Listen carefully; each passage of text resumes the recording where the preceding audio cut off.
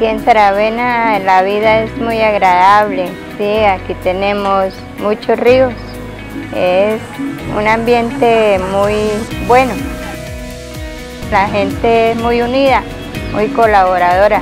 Aquí sus habitantes viven de, en la agricultura, en la ganadería. El internet llega a mi casa por una necesidad tener esa herramienta para el estudio. Me ha dado la posibilidad a mí y a mis hijas de adquirir conocimientos en la preparación de las comidas para poder venderlas. Aprendí a preparar la avena cubana viendo videos en YouTube.